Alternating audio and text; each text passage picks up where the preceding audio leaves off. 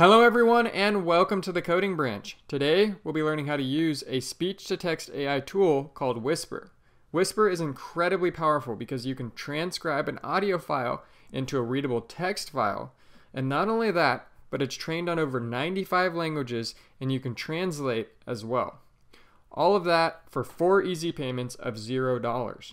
But first, why did the Java developer quit his job? Because he didn't get a raise. All right. Now that the crappy programmer jokes are out of the way, if you enjoy learning how to use AI tools, subscribe to the channel. I'll be breaking down how to use all of the latest AI tools so you can build the next Skynet. I'll be hosting the code in this video on Google Colab. Google Colab is extremely handy because you can run Python code in the cloud for free, and since I'll be setting everything up for you, you don't even have to know how to code. I'll leave a link in the description below so you can get access to it. If you would like to further read into this, I'll also leave a link in the description below for the GitHub that explains what I'm about to show you and more. I've created a simple script here that today is going to enable us to upload an audio file and read it as a text file. So we'll get a good understanding of the transcribed version of the AI. In a later video, I'll show you how to use the translate portion of it. Let's start by going to the Google Colab.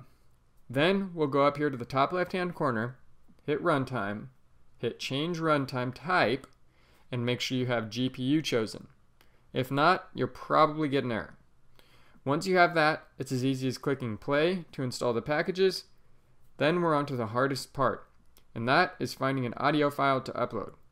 For this, I actually read Satoshi Nakamoto's announcement email of Bitcoin. If you haven't heard of Bitcoin, you've probably been living under a rock.